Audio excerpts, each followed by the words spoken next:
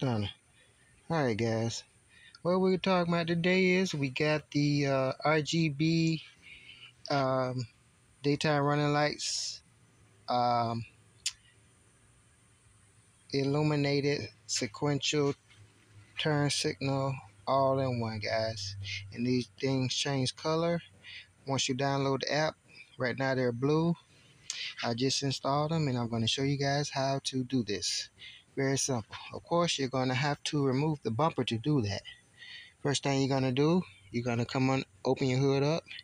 You're going to take this cover here off and now you're going to have all these little push pins in there. You're going to take them out and that's going to give you access to the inside of your hood here. You're going to come down here and one two take those two push pins out. And of course you're going to go along the bottom here. And right here this is connected here. And this little slot right here I don't know if you can see that where my finger is where I got my finger right there. That's going to be a 10 millimeter bolt. You're going to take that out which is going to give you access to uh, this panel right here. And you're going to do that on the other side. And underneath the bottom here it's going to be right there. If I got the camera and there where my finger is that's going to be another 10 millimeter bolt you're going to take out. And you're going to do the same on the other side. Right? Remember I told you about that one right there the other 10 millimeter bolt right there and underneath right there you see right there right there you're gonna have to take that bolt out there. It's just gonna be like a little plastic grommet over there. You can't see it, but there's another plastic grommet. All right, and up top here, I got my lights in the way, but dropped on there. This right here is gonna be up here. All right, just imagine that right there and all these bolts are if I recall 10 millimeter so this of course is going to be behind here like like this right here as you see they all line up right and they're all going to be sitting up here right and make sure when you take these off these are are different. So make sure you have the this one on the right side because if you put this one over here, it's not going to line up. So you make sure you keep keep them separated, right? But anyway, they're going to be three bolts. One there, one there, and one there. One there, one there, and one there. And that is this one here, which I believe was right there. Yeah like that. Right there. And of course these other 10 millimeters. There's gonna be three here. Right? And then right here this is where this connects right here. That's to be sitting up there.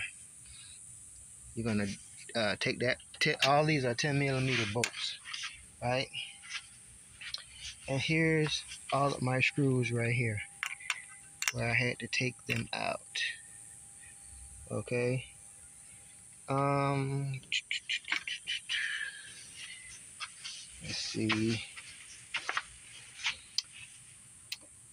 One, two, three. Yeah. Um. And if I recall, um, um, um, um, um, um, um, that'll be enough to get it to be get pulled out right? And this thing is basically got a plug and play. Here is your original daytime headlight, right? You see right there and right there uh, where the bolt mount up at, right? And they're going to be these little screws right here. It's just two of them hold this in inside of here, right? You're going to take that out. And of course, you're going to have this part here connected. This is from the original daytime running light. It's going to be connected here. If you see, it's a three, it's a three prong connection, right? So now what, as you see, I got these running and this is no longer connected because you're not going to need this anymore. It, it gets bypassed, right? And what you're going to do is, you see this right here? This is, this whole thing right here is your new wiring harness. Here, like I said guys, it's a plug and play. And if you can see, this connects in their snap. And the other part here goes into here right? Because this is replacing your this is your turn signal wiring harness here. And remember this this will be your daytime running light harness but it's going to get bypassed. And you see how it's connected from here to here so this plugged this plugged into here and this got plugged into here and that got ran into there right? And now you're wondering okay so how does it plug into the daytime um, harness right? Okay we're going to come over here and you're going to see the difference. This connected into your wiring harness.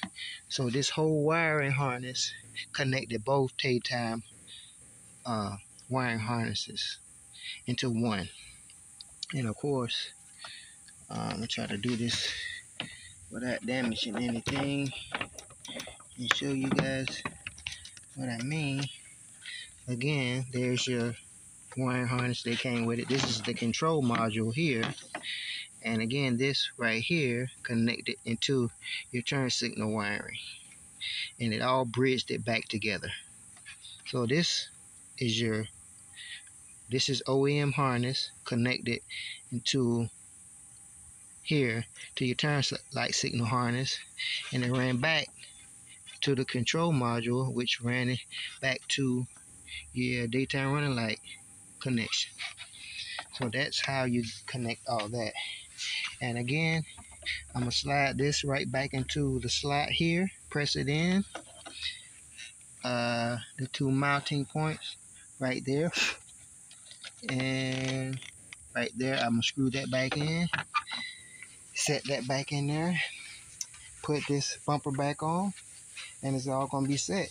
All I have to do now is download the app and I can turn these lights all different type of colors guys. When I'm to finish the end of the video is to show you how it looks at night. Or maybe I'll put it on the beginning of the video.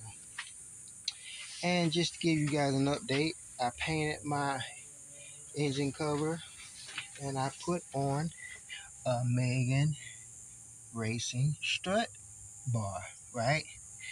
And I'm going to do a video on how that uh, um, improved the performance and the handling and eliminated the body roll on the vehicle. Right, guys? And I'm also going to do, I wasn't going to do it, but I'm going to go ahead and put a cold air intake on this thing, a HSP cold air intake right? But it's about 300 bucks that I really don't want to spend, but I'm going to go ahead and do it. It's a plug and play. Right, guys? And I should do a video on how to do a throttle body cleaning, which is very simple, guys.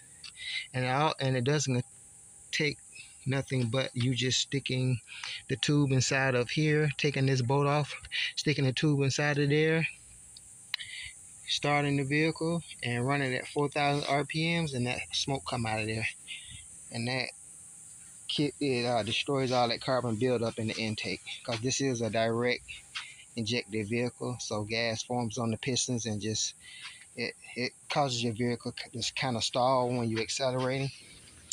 And here we are guys. Stay tuned for more. Stunna